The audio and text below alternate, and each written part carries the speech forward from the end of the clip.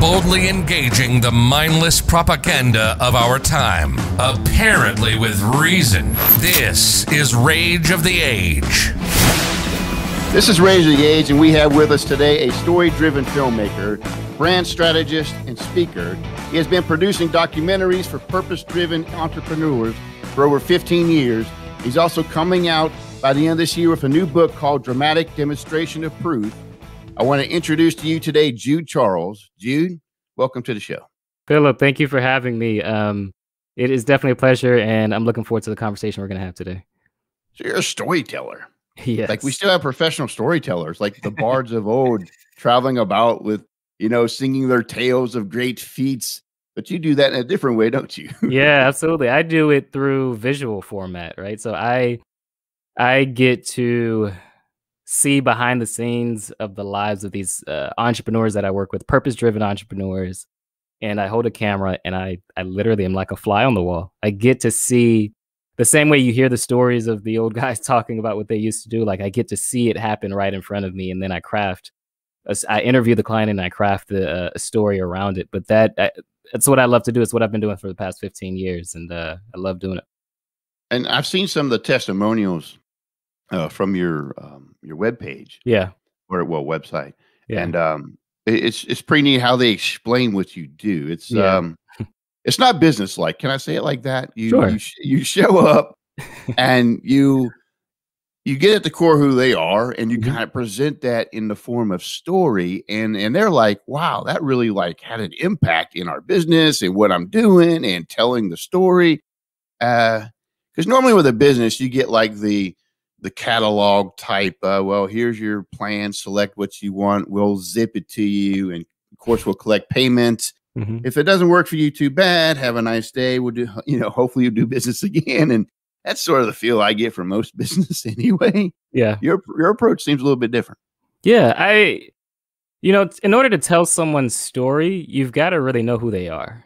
Like, I don't, I don't, I'm not the type of entrepreneur that is, I hold a camera just because I really love filmmaking. I do love filmmaking, but Mhm. I also want to serve my clients. I also want to make sure that I am showing them in the best way possible. Um, and the work that we're doing is so deep. A lot of the clients that I work with, they they're vulnerable in the stories that they share. Um, like I work with, I worked with a business coach who, um, she's telling her story of uh, going through infertility issues. Like she's she's 40 in her 40s. She's right very first time wanting to be a mother and she's having issues having children, right? That's a very vulnerable story to tell.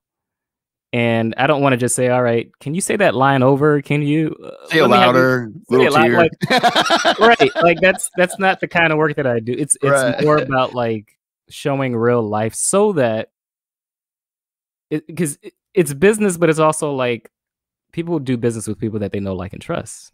Right. And so how does someone get to know, like, and trust you? They got to know who you really are. yes Um, I've always, I don't know why or how, where I got it from, but I've always envisioned um, that if I were to get in business, that's what I would do is tell a real story, not, you know, a scripted story, but tell a real story about who these entrepreneurs are. from what you've said before it's uh this isn't something that that i if i understand right you didn't go to school and learn how to tell a story and suddenly decide to tell stories that it was from you sitting up at night with your dad Yeah. yeah. watching tv shows Yep. and just getting immersed into that story right? Yeah. Yeah.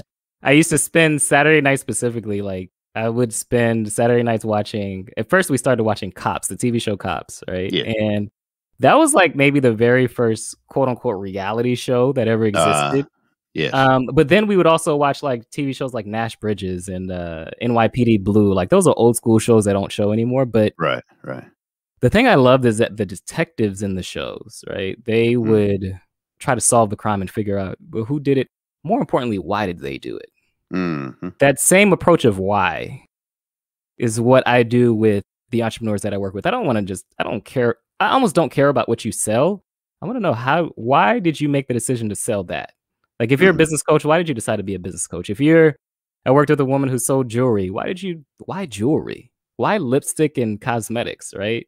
Mhm. What led you down that path? Um Yeah, I, I, just studied that. I don't know why, but I studied that when I was watching those TV shows, and I studied how they would ask why, they would get to know the motive, they would get to know the mm-hmm. families, mm. um, and it's that that made it was a bigger mission. It wasn't just about solving the crime; it was about getting justice, and that's such a bigger mission than just yeah. we found the person that did it. So yeah, well, I imagine the same thing could be uh, said about you and, and storytelling. I mean, what why take to storytelling?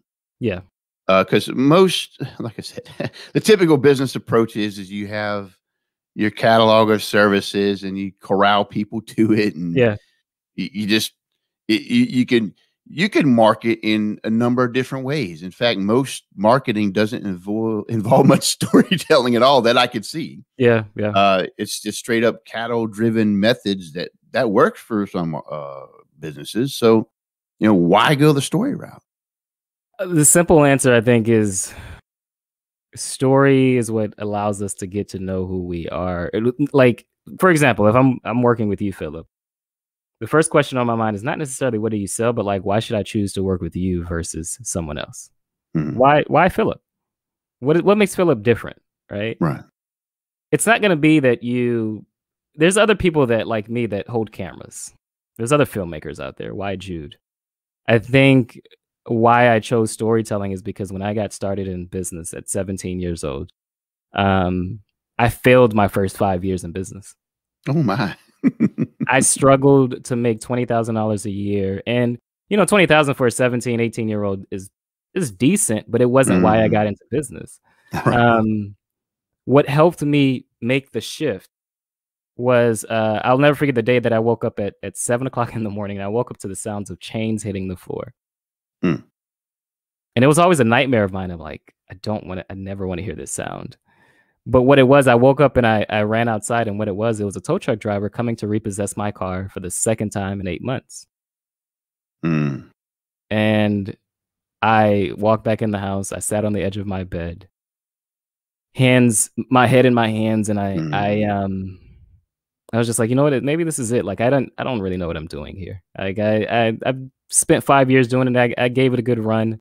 I'm 21, 22 at this time. Like, you know what? It, it was fun to say I started this. I did this. Mm-hmm. In that moment, I get a phone call from a client that I had been working with, Keisha Dior. And for one reason or another, I picked up the phone and she is excited on the other end. And she's like, Jude, Jude, you won't believe it. You won't believe it. She's like, I just got off the phone with my accountant and he told me I crossed over the million dollar mark. Hmm. Now, Keisha Dior, I had been working with for a year. We created a documentary series, and she launched her company. She had built it from the ground up, launched the company. Um, and part of her launching the company was this documentary series. So she had mm-hmm. made a million dollars from a documentary series that I had done for her, um, selling lipsticks, cosmetics. Meanwhile, I had only made three thousand dollars on that project. yeah, right. right in that moment, it made me realize I had a behind the scenes look at what it took to get to that level. I knew her story. Mm-hmm. And then I started researching other entrepreneur stories and like really digging into like, okay, how did they like like someone like Steve Harvey who went homeless for three years? How did he take it to the next level? How did he how was he able to do that? Um that for me, that's why storytelling matters.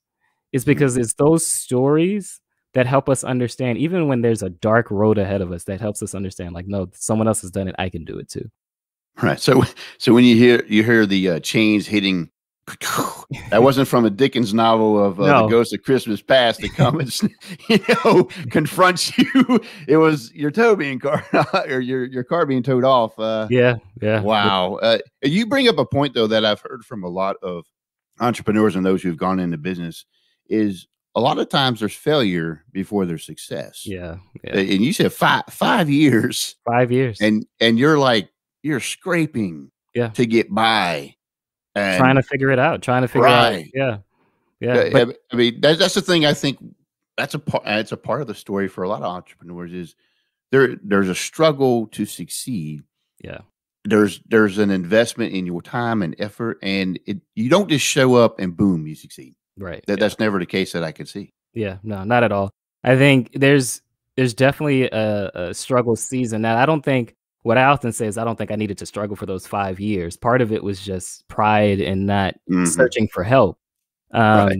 because I think after the first year, I would have realized like, look, I I don't know what what I'm doing here. Um, but I had this sense of pride at 17, 18, starting the mm. business. It's like, no, I've yeah. got to figure this out on my own. Like, I decided not to go to college. I'm the last of 10 children, the only one of the 10 children that didn't go to college. And it's like, no, I've got to figure this out and prove everybody wrong. I didn't need to struggle for those five years, but it is in business, it's not easy. Even mm. at the mm-hmm. level that I'm at now, like there's other issues and problems that comes up. It's not right. it's not always going to be easy. Um, but it's those failures and those struggles that help you get to the next point in your life. Um, which oftentimes that's what that's what makes for a great story as well.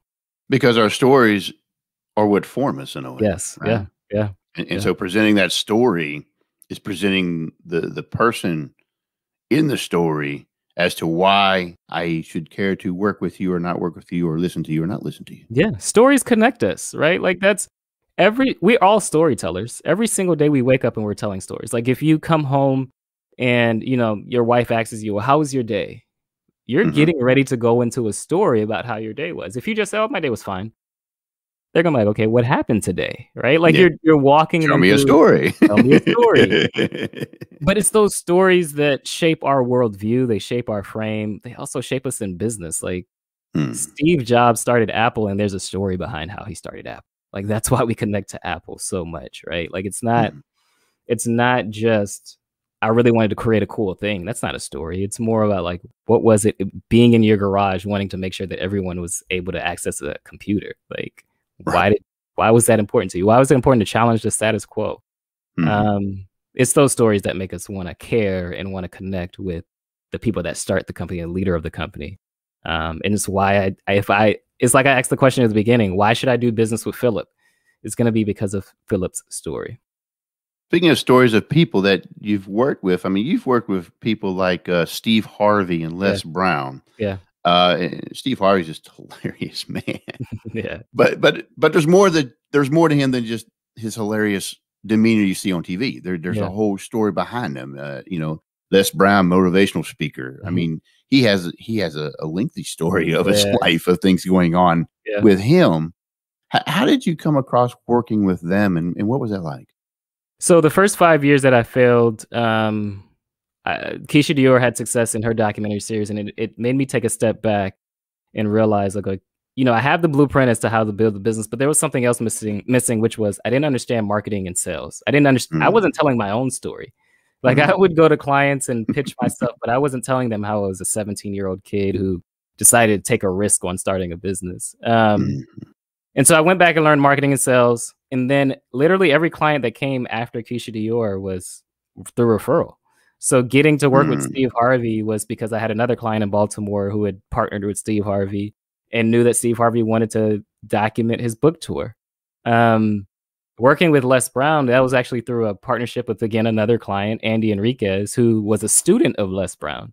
And Andy, we Andy and I were doing a documentary, um, and so we partnered with Les Brown to be a part of it too. And so it's it's all through referrals. It's all through, um, honestly, just loving the craft of what I do and then people talking about it, right? Like is referral is always going to be the number one way to get clients. Um, of course I do other things now like podcasting and in masterminds, but it was all through referrals. It was always just through, man, Jude really told a great story there. I, I want to work with him too.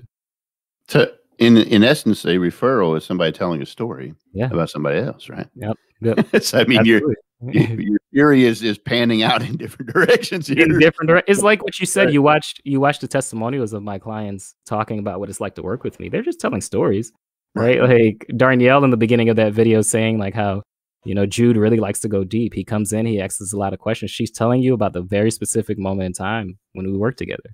Um, that is, yeah, it's just it's storytelling. Storytelling is going to be the one thing that you can't, if you want to succeed in business, you can't not do right? You're going to need it in your website. You're going to need it uh, when you're presenting. You're going to need it when, um, you know, sometimes there's even stories on the back of water bottles, right? Like mm-hmm. stories yeah. is going to, it's everywhere. It's well, yeah, yeah, your milk carton, your uh, yeah. your Happy Meal box. There's there's always something to read. Yeah, yeah. And so, story. And that's why it's important to master the art of storytelling. Right. I think over the years, the last five years, storytelling has become a buzzword. But mm. if you keep in mind that a story is about a very specific moment in time, just the same way I told you a story of what happened the day that Keisha called me, or I tell mm. the story, often I'll tell the story of how I got started at 17 years old. My TV production teacher handed me um, a yellow envelope with a set of business cards inside. Mm. It's about a very specific day, May 5th, 2006. I'll never forget it. Right. And so, Pretty cool. there's stories everywhere. Um, and there's opportunities to share stories in different ways. Like I'm sharing stories here on a podcast through audio. Mm-hmm. Stories are everywhere, and, and it's important to remember the very specific moment in time that helps illustrate and translate what you're doing and why you're doing it.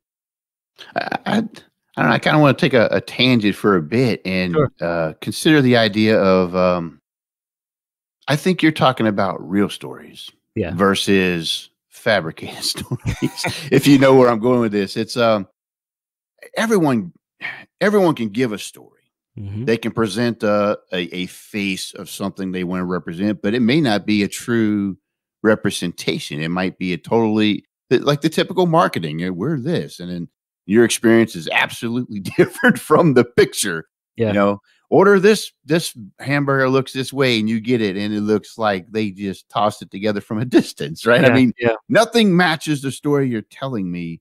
I think what you're talking about is is a genuine, real story that you're presenting that there's power in the reality right yeah yeah there is power in the reality i often what i say is um especially with what i get to do through documentary filmmaking what i'm doing is showing the truth. You can't fake a story. Hmm. as much as like i think especially now in 2021 people are people's bs meter they're they're really in tune with their bs meter that's right.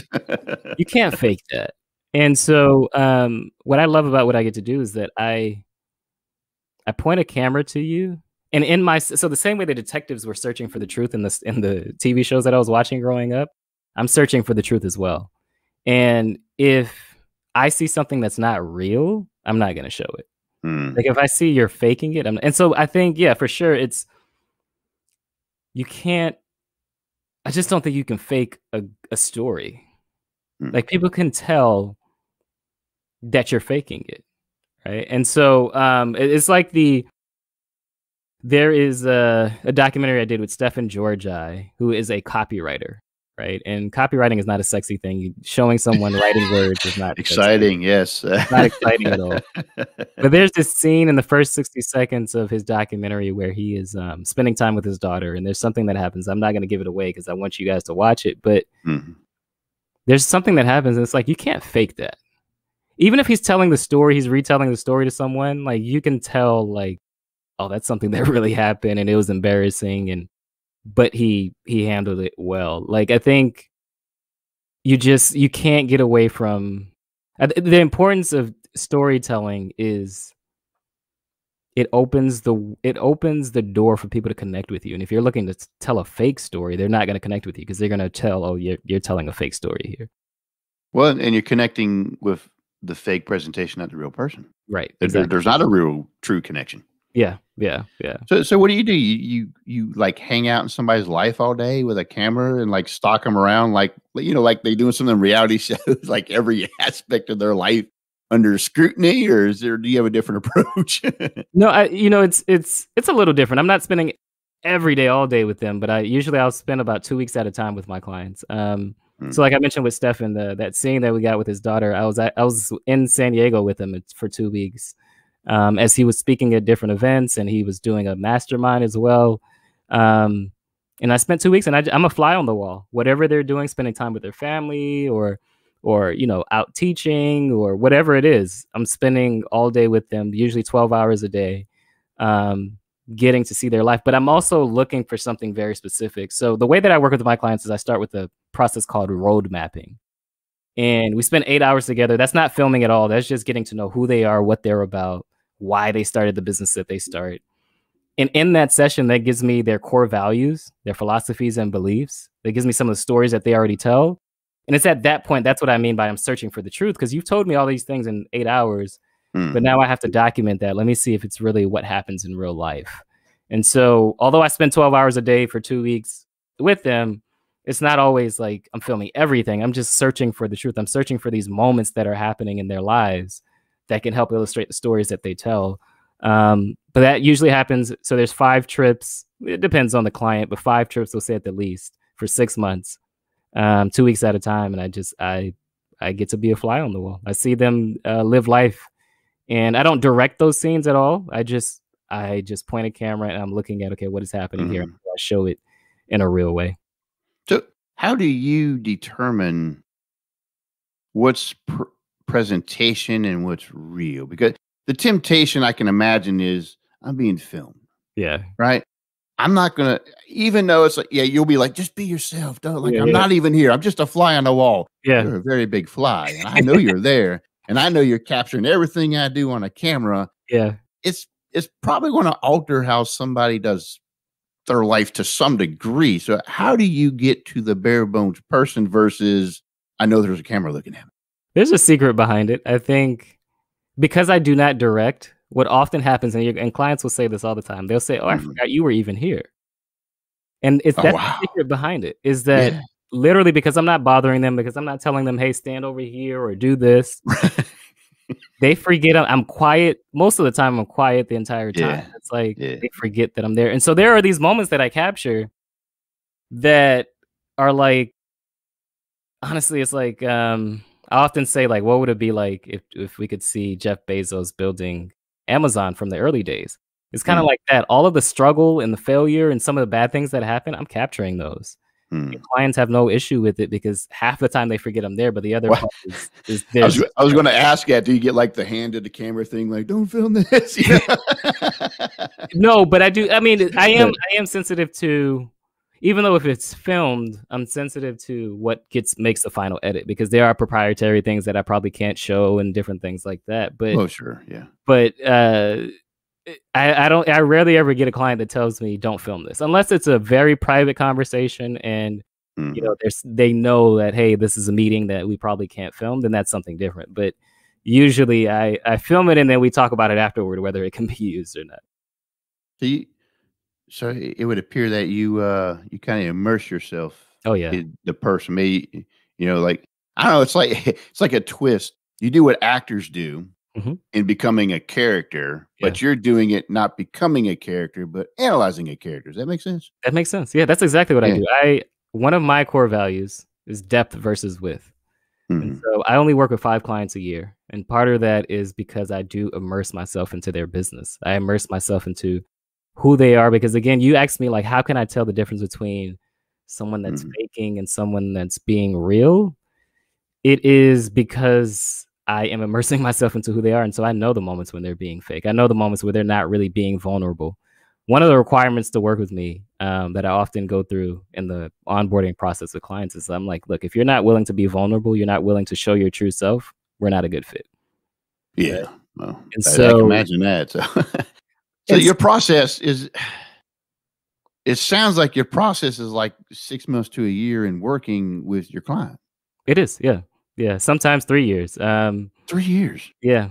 Yeah. And it but it is it is because now there's that part of me how I work with them, but there's the results that they get as well, right? It is mm-hmm. because because I film them in this way and I show them in their true self, it allows their tribe to deepen their relationship with them right? So if we talk about a Stefan Georgi who his big why is to help people escape the cave. That's the way that he puts it.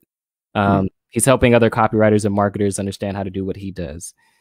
But you know, in order to do that, again, there's other copywriters out there. There's other people that have that kind of business. Why mm-hmm. Stefan? Right. It's because of these things that I show about Stefan that makes you want to connect with him. And if you want to connect with him, then you want to buy whatever he has to offer. Um, it's because of that that I get to work with them for three years. These clients are being they're being seen in a new way that have never been seen before, and they're like, "Wait, I need to keep showing up in this way. I need people to continue to see me this way," and so that's why we continue to work together. You're listening to Rage of the Age. Rage of the Age. Politics, religion, economics, and history with a conservative bend. When you finally had the final product of the uh, the the film. Uh, I, I am going to go documentary if there's a yeah. better term. No, that's what me. Yeah. Okay. You you you, you finish the documentary. Do you just give it to them, or is there something you do with it beyond that? Uh, what's the next step? Yeah, so once the doc, it's a documentary series. Is normally what I do, a three part or a six part documentary series. Okay. And um, and then I yes, I hand it over to the client, and then usually I'll do a big launch around it, either through email or through like uh, I've had a client do it through a Facebook Live. Like it depends on whatever the client already has set up.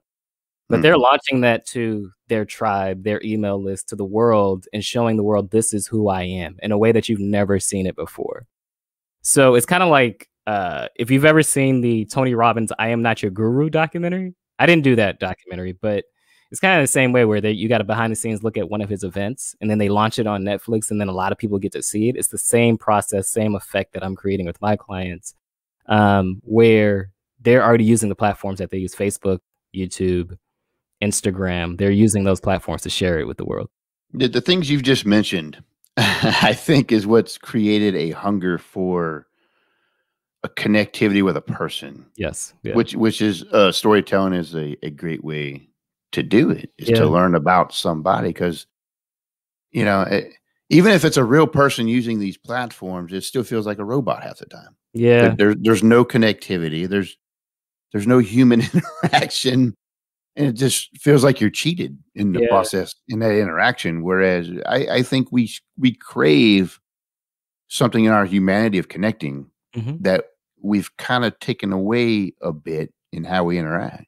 Yeah, yeah, absolutely. I think, you know, social media has opened the door for entrepreneurs, for everybody, right? To to tell their own story. Mm-hmm. We've seen that happen so many times. Like, let's say something crazy happens on a plane, and that person goes to Twitter and they start telling the hotel of what happened on the plane. I saw a really good story once. I haven't been able to find it. I saw it years ago, and I actually went back looking for it. A, a woman that tells a story about her mother leaving her home to make soup, and soup take the soup takes six hours to make. Oh wow, good soup, right? she came back home, and uh, the mother came back home six hours later, and the soup. The daughter thought she had all the time in the world to make the soup. She heard the car coming down the street. She threw everything in the pot to try to make the soup.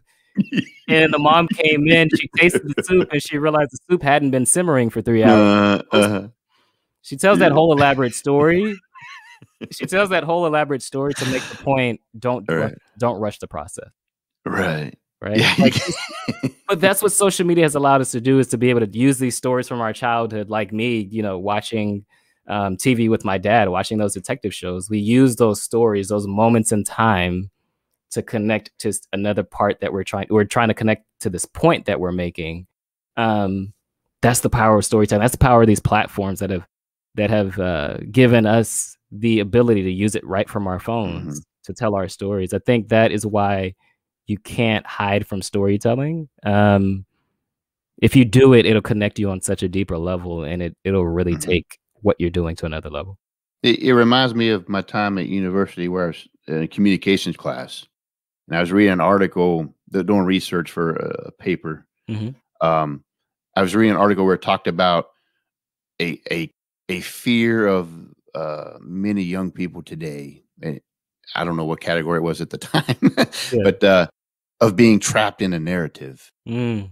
Like that, we're so used to a quick jab of information, and but then I can cut myself off from that. Yeah. Whereas, like you were talking about the shows you're watching, those are hour, maybe two hour shows, yeah. and you get there's that word again immersed yeah. into the story and what's going on and it speaks to you it may even influence you yeah and the article was saying there's kind of like a fear that if i stay into your story too long it might affect yeah yeah and so there's like these buffers and walls we keep shoving up to not be influenced by this narrative but the the story is how we connect that mm-hmm. that's how you you hear what somebody's saying. That's how you explain to somebody what you're saying. Yeah.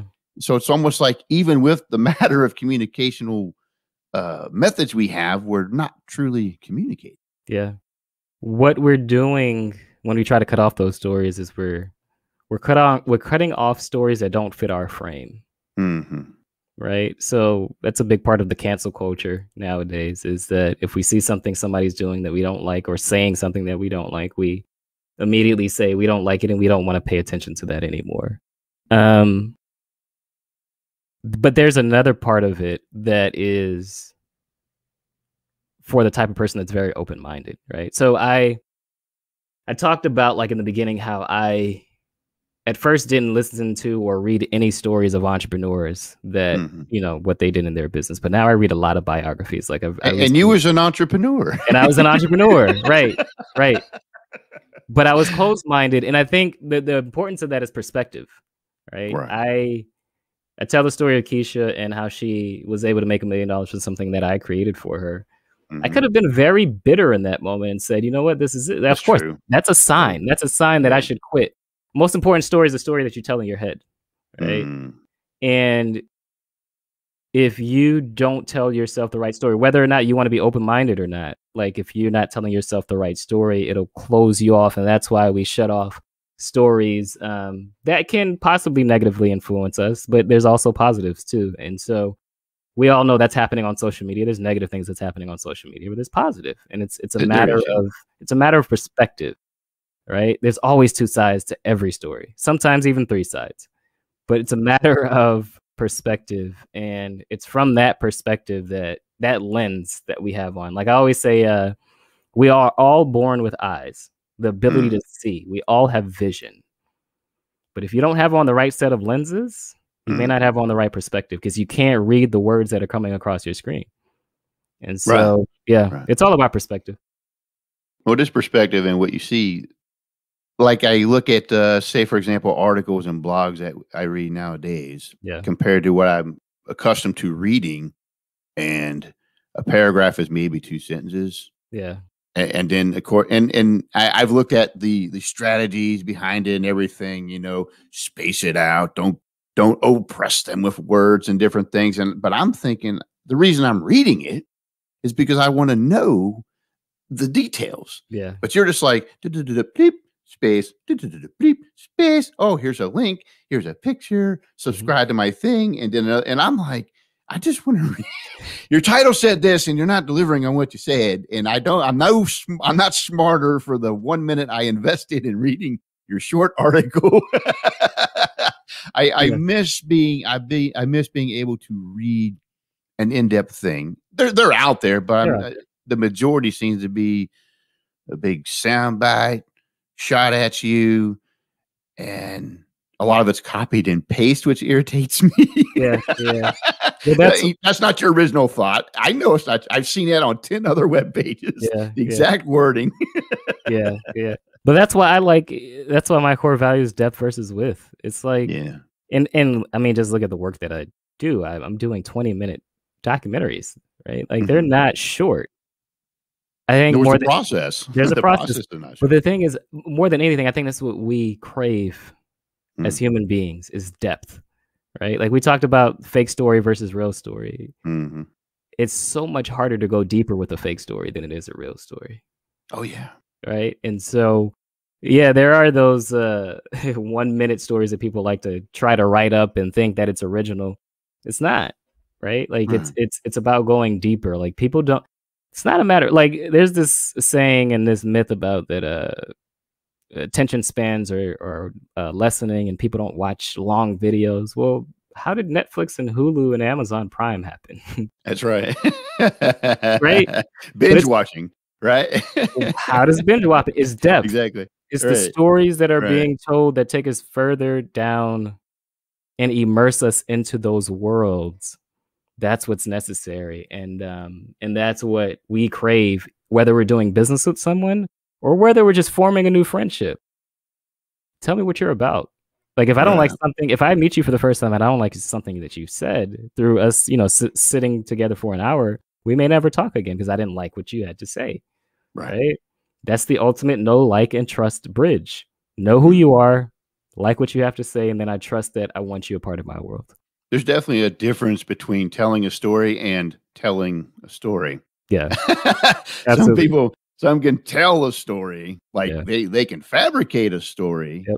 and thus have to keep fabricating to maintain that story. Yeah. Which eventually I you can see the la- the lack of depth that just you re- and when it erodes like yeah, okay, you're telling a story. Yeah. But but then there's telling a story. Yeah. a, a yeah. real story, Yeah. which I think has impact because we have a lot of people telling stories, and there's no story to tell. Absolutely. Yeah. Yeah. Are you are you a, a, a sports fan? Who's your Um, favorite I- team? well, I like Pittsburgh Steelers. Pittsburgh Um, Steelers. Okay. growing up in West Virginia, it was it was heresy not to like them. Uh, but I so I, I loved them. We we we were nearby Pittsburgh, so we we loved them. Growing up, loved them. Always have. Watched it with my dad. Yeah. Growing up, you know, um, f- football's primarily what I watch. If I watch, I, I don't have. I don't focus as much on it as I used to. I used to coach football. Love football. Yeah. Uh, I've played baseball. Um, tried my hand at basketball. Ended up being offered the mascot position, so that didn't pan out very well. The reason I ask that is because uh, sports documentaries are, are some of the most fascinating ones to me. I love sports Mm. documentaries. Um, I recently rewatched uh, The Last Dance with Michael Jordan's story, right? Hmm. And that was a story put together from their 1998 run um, Mm, of yeah. being the sixth, the, their sixth championship, Chicago Bulls. Um, what was fascinating to me about that one and just sports documentaries in general is that at first you see these athletes as just people that you know they they're scoring points, Mhm. But then you get to hear their stories of how they grew up and Yeah. the other things that they're interested in and that they're like I remember there was a football player I can't remember his name now but there was a football player who ran a chicken farm. Like he was Oh, wow. playing in the NFL, but he was also Yeah. very much into chickens, and it was just like, Yeah, oh, that that makes me see him a little bit differently now. sure. Like, it, it's it's again it's i think one thing that sports got really uh, what they got right is that they understand that if you become a fan of the player you're there for the player and not just the team at that point right? Mhm. like it's a deeper relationship it takes us further down into their world and immerses us now we're a fan not just because we want to see them score points but we we truly inside want to see that person win right, right right. that's that's the difference that's the Yeah, I mean, I, I think of Brett Favre, uh, Brady. I I mean, you know that. Tom uh, Brady is Dan- one of Dan best Mar- stories. Yeah. Yeah. right. You know, Dan Marino. You Yeah. know, for years trying to get to the Super Bowl and just falling short, and then finally makes it. Yeah. And, I mean, it's things like that. You're always rooting for him, and but then again, I think teams hate that too because when that player wants to leave, that's like, That's the that's the Tom Brady story, right? Exactly yeah, right. Yeah. yeah. Tom Brady played for New England, I think, for 17 years. Is that right? Oh, forever. I Yeah, don't know. Yeah. I mean, But you know what I love about Tom Brady's story? I didn't know it until he came to Tampa Bay and started playing for Tampa Bay, but I didn't realize he Yeah. wasn't an all he wasn't always an all-star. Like he came in and he wasn't even uh, uh, drafted at a high level, right? Right. And but he worked his behind off to the point that he's 43, 44 and still one of the best quarterbacks in the league. Like that itself is such a powerful story, but I wouldn't know that without his documentary series, right? I wouldn't know True. I wouldn't know that without the behind the scenes that's happening, that the stories that ESPN or NFL Network are telling. Um, it's the same thing that we could do for ourselves as entrepreneurs. Hmm. Yeah. That's true. That's so true. Because there, there, there's the face, and then there's the life behind the face. It's, Yep. uh, I mean, like you're saying with those examples, if you didn't know anything else, it's it's just a guy, especially with football, their face is covered half the time. They got Yeah. these big old pads on. They they look, you know, superhuman. They are kind of superhuman in yeah, a way, yeah, but through hard work, not a potion or anything. They they they're these like massive warriors on the field in battle, and that's just kind of how I see them. And they're just going at it, yeah. And but you you miss the humanity behind them a lot of times because of that. Yeah, yeah. You don't get to see the three dimensional view of their lives. hmm Yeah, it's so when you're seeing them on the field, it's very one dimensional. You're just seeing a guy moving a ball down the field, down a Mhm. grassy field. That's it. That's all you're seeing, and they're and they're almost an inanimate object.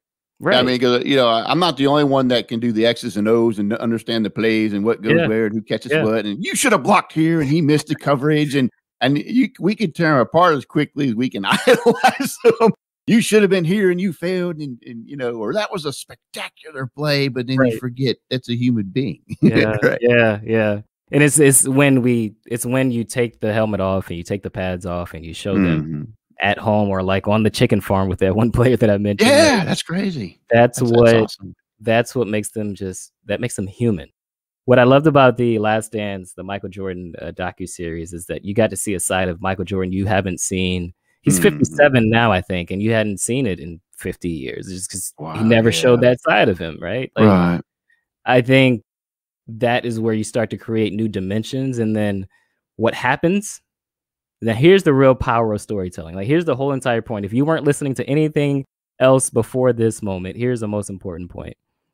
When you start to tell stories, real life stories of what mm-hmm. of what your life is like, who you are, what you're about, it can help elevate your personal brand and elevate your business to a new level.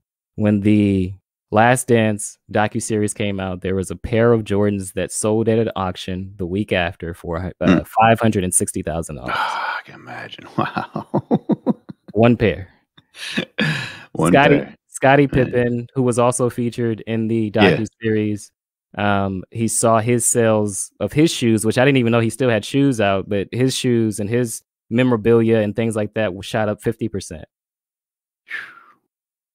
in sales, and that it, it's because of the power of story. These are guys that haven't played in years, Right.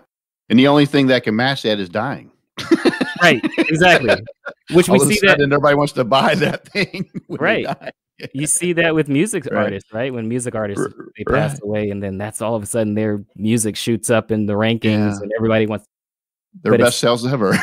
But what happens when somebody dies? We're Right. telling stories of what we remember about that that person.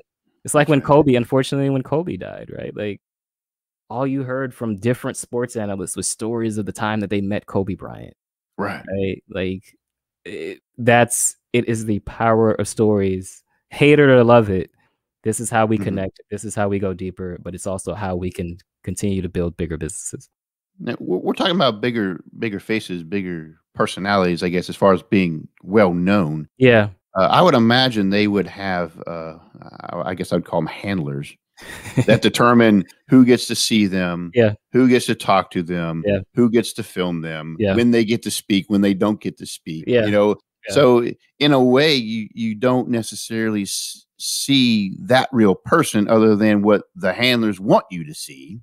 So Depends. even even they, eh, I, I imagine, yeah, Yeah. you're right. I think But, it depends. but for Jordan, I mean, he had this whole other side yeah. that you would think people would have dug into to find, but I can, I would only think it's because they wanted a certain image, a certain view of them, He and may or addresses may not. that. He Oh, he that. Um, What it ended up being for him was that he felt like he couldn't live a life Ah, because he was so popular anywhere that he went. There's this scene, and and I encourage the people listening to this to watch the docu series if you haven't. But there's this scene of him sitting in his hotel room and he's eating food, and he's like, "I have to be in this hotel room to eat food because if I try to go eat food out there, I won't be able to." Wow. Right? Yeah. but again think about that so we you you you i love that you mentioned that because you said um you know they have handlers and sometimes you may not even see the real story but just getting the behind the scenes story of why he's that way Mm-hmm. it just Mhm. it takes that and it it gives you a different perspective Right. right, but that's why again that's why it's so important too i think that there are there are other athletes who do get real about their stories and they share it regardless of like how people feel about it and i think that's the one lesson to take away from this is that you get you just got to be open. You got to be open and vulnerable and realize that you know what not everybody's going to like you. Not everybody's going to like what you have to say but the right ones will. I've had clients that i that i've had like i said that worked with me three four years. It's not just because i'm great at what i do. It's because Mhm. they've actually formed friendships and they they get to know who I am and know what I'm about and know my story more than just the thing that I create for them. Why should I bend my story to you not liking me versus I just have my story whether you like it or not? Exactly. just be unapologetic about it. Yeah, absolutely. I, Yeah. I mean, yeah. I, I am who I am, and uh, this is why. And Yep. you know, perhaps we can come to an understanding about it and understand each other's story. But uh, yeah, if you choose to dislike it, that's cool. that's cool too. Yep. Yep. Yep. But your story is your truth, and no one can take that away from you. No one can take your truth away from you. So you're putting all this stuff that we've been talking about into a book called Yes. the Dramatic Demonstration of Proof. Tell me about that. Yeah, so dramatic demonstration of proof is the process of what I do, right? Like it's easy to make a claim that you're one of the best that does whatever that you do, but how do you prove that? I do it Ah. through visual storytelling. And so the book walks you through how to tell your own story, but also walks you through how to bring that to life through video. Um, and that book will be coming out uh, towards the latter part of this year, 2021. There will also be the audio book available. I have decided to make that available for free. Mm-hmm. Um, but that will be coming out and it walks you through exactly all the things that we've been talking about being vulnerable, showing your truth. I talk through that in the book, Dramatic Demonstration of Proof. It helps you elevate your personal brand and your business to a new level. And who's who's the voice behind that? That will be my voice. That'd be your okay. Tell your own story voice. about your storytelling. Yeah, yeah, yeah. I tell the story. So the book breaks down. It breaks down a little bit of my story, but it also breaks down my client's story. So I mentioned Stefan Georgi. He's featured in the book. Um, Tracy Lynn, who is a uh, tr- she runs a jewelry company, multi multi million dollar jewelry company. Hmm. Um, she's also featured in the book, and then Darnielle, which I speak to a little bit about, the business coach she's hmm. featured in the book as well. So I tell their stories, I show how I bring their stories to life, and then I walk you through how you can do it yourself. That's pretty awesome. I mean, yeah. I'm thinking like Earl Grey Jones or something being, you know, the the voice, you know. yeah, yeah. It's, it's gonna be There's really... like certain voices that just make you listen, you know. Yeah, yeah. No, it's gonna be a really cool book. That's why I'm making it available for free because it's not just the audio book. I'm I am interviewing my clients. You so you hear some of that, and then um I'm also I've been featured on quite a lot of podcasts, so I'm taking some of those podcasts that I've been featured on and extending the ideas, mm. extending what I'm talking about to really again, I'm a deaf versus with guy. So I really want to go deep and help people understand how to do this for themselves. So did I hear you right? You're you're gonna. It's not just an audio book where you read your book. You're you're actually going to have like uh people, you know, testimonies and interviews and things like that in it in the in book. It, yeah, but in, in the audio version of the book. In the audio version of the book, in between each chapter is going to be a extended version of like either an interview I've done with someone or something right. of that nature. Yeah, that's so cool. That's yeah. like putting to practice the storytelling in your book about storytelling, but it's in Absolutely. the audio version that you can't get in the written version. Absolutely. Yep. Yep. And you're giving that one away for free. for free. For free. Obviously, you'll still need the book too, but I, am giving right. that away for free because I just I want to get this in as many hands as possible, and um, so that will only be available when it comes out on Spotify for free. But uh, the book itself will be released on Amazon. Uh, do you have a? I mean, you said towards the end of the year. Do you have uh, more I don't. I know it's August 2021. I don't have the exact date, but I know it's August. August. 2020. Yeah. August okay, so that's that'll be here before we know it. Yeah, yeah. I, I look forward to it. That's, yeah, that's something I will probably get a hold of just just to hear it and uh, the, the things that you do. It's it's fascinating. Thank you. Just thank you. Yeah. Well, in that, um, it, it fascinates me that that your typical business person would go, you know, I want to have this guy around for like six months to a year, maybe three years, and filming me, having no idea when he'll be done. Yeah. To eventually get this video that hopefully will enhance my story. Yeah. Yeah. and and have a turnaround of what I wanted to do. And I mean, that's that's a long investment for a lot of people, isn't it? It is. But you, you gotta I think as an entrepreneur, you gotta be invested in the long game. Right. right. You can't think of it as just a quick exit. Even the people that do make quick exits aren't really quick exits. Sometimes it takes five years to exit a business. Um, mm. You've got to be in it for the long. It depends on uh, the reason I work with purpose-driven entrepreneurs is because it depends on what is your long game. Right. If you're building the business to serve your mission, that's a different thing than building a business just to that's make so money. True. Yeah, that's so, so true. Um, so yeah, that's uh, get the book judecharles.co that is where you can um, find out more about the book and find out more about the work that I do, see the stories that I tell, and um, hopefully you can tell your own story and bring your own story to life. Jude, it's been really awesome having you with us today. You you bring up, um, I think, something to really consider in, in, how you you know how we communicate, how we present, uh, well, our brand, our business, our our mission, our goal, whatever it is. That you know, stories are important we're, we're human beings. We're not uh, cogs in the wheel to be used. Yeah. We, we, we, like you said, our meter jumps up when we see it. Yeah, yeah. And um, and I appreciate uh, you giving us this insight today. Thank you for having me, Philip. It was definitely a fun conversation. We really did uh, go deep into this storytelling concept. You're listening to Rage of the Age. Rage of the Age. Politics, religion, economics, and history with a conservative bend. Welcome to the essay segment. I trust you enjoyed the interview with Jude Charles talking about storytelling and the things he does to put the story together and the implications and impact that stories have on us. Stories indeed do have impact on us. Uh, that is why you see a concerted effort in the telling of a story. That's why you have these concepts of controlling the narrative. Why? Because you want to fashion the story and you want to control the story because we instinctively know that stories have an impact. That is why there's this constant need to rewrite history and basically to end the story and tell the story the way you want it told with an element of legitimacy to it being, you know, historical record and thus crafting and impacting how people think, act, and respond to the story.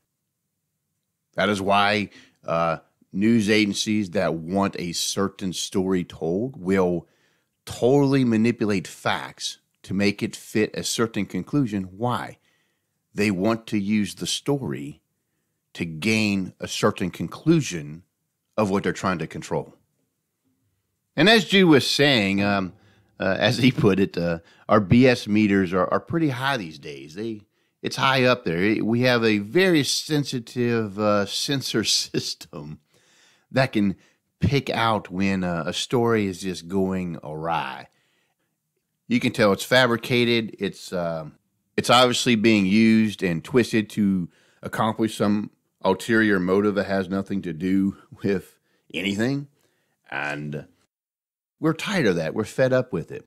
Uh, so even then, stories are meant to have a good impact, but they've obviously been misused and twisted. And what that means is, and what that does into our lives is when we come across an actual story that's real, it has a huge impact and effect upon us. When something moves us in a story and and you and all through your sensors you've you finally have figured out this is this is not fabricated, this is not propaganda, this isn't some kind of bait and switch thing. This is a this is the real deal. This story moves me. When we come across those, that's a game changer for us. That's when stories really have an impact in our life. And in light of that, I want to I want to share about the greatest story that has ever been told. A story that has personally impacted my life. It has personally impacted millions and millions of people's lives, uh, maybe even billions throughout history. And that story is found in a fascinating book called the Bible. Now, the Bible is actually a collection of books. It's not one book, it's just a collection of books. And it's a collection of books written by multiple authors living through different time periods in history, uh, not always from the same locality. They can be in different locations that they've uh, been written at. The authors were also um, sometimes very poor people, sometimes they were kings, sometimes they were prophets. Uh, there, so there was no set um, class or uh, business field, if you will. Uh, it wasn't a certain occupation that did this. You have a, a whole variety of the directions that this comes from. And yet, from all the different offers, from all of the different locations, and all the spans of time in between, you have one beautiful story. And that's an amazing thing to me. I mean, there was a time, honestly, where uh, I didn't believe that. There was a time where I didn't think that uh, it was important to consider um, it didn't resonate on me until I fully, until I fully uh, basically get slammed with it. Uh, to know that wow, this is one beautiful unified story, and it's about one beautiful person, and that person is Jesus Christ. But even further, the, the beauty of it is, is his story is often told through the story of other people and those people's lives are not exactly stellar. Sometimes we see dysfunctional stories in the Bible, but the whole point of it is to show how dysfunctional we are, but that there is a remedy for all our dysfunction and and that there is a hope to look forward to despite who we are because of what the bigger story is about being Jesus.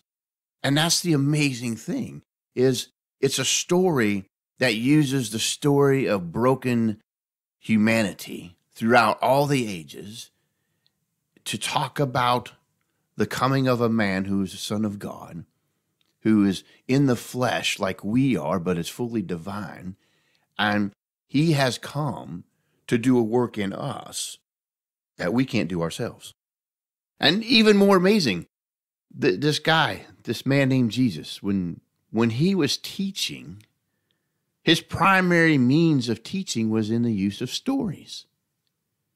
Sometimes it's parables that you know, that would uh, div- using a, a, heavenly meaning with a, an earthly story, and he, he would just oftentimes would answer his critics with stories because stories are designed to make us think, even when we don't want to give an answer. Which, let's face it, is that not why we can't have common dialogue with people who disagree with us? It's just if you make an exact statement, what's the reaction? No, that's not true. And then they make an exact statement. And then there's this argument over, well, which one's true and which one's not. No one's really thinking about what's been said. But see, when you're given a story and there's no real statement in the story other than the story itself, but the story speaks for itself, it makes you think. And that's what Jesus often did. When he challenged his critics, he would tell a story that would make them think.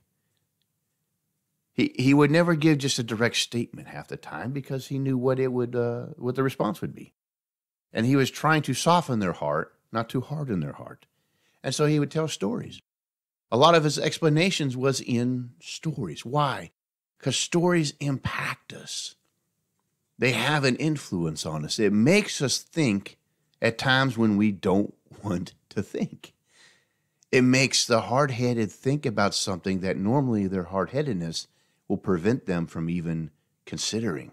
That's the power of stories. Now, the Bible is story after story after story. And perhaps you, you, you view the Holy Scripture the way I used to view it as a book of rules of do's and don'ts. And, you know, if you do these things, don't do these things. And if you're good enough, you might go to heaven. But I was so wrong. Now, certainly, you have some very obvious direct statements in the Bible, prose discourse, that, uh, as a matter of fact, is a complete statement. Um, you know, things like do not steal. Uh, th- th- there's no story to that. That's just a straight up commandment, right? Do not commit adultery. There, there's no story to that. It's a straight up command. Um, and it's meant to be taken as such. But how those direct statements are viewed are beautifully explained in the stories that surround them. The Bible is full of stories, it's full of poetry, it's full of uh, thought provoking proverbs and, and maybe agitations at times to, to prod us into a certain direction. And it is one lengthy story brought together from a record of humanity to show us how broken we are as humanity, as if we need to be explained that. I mean,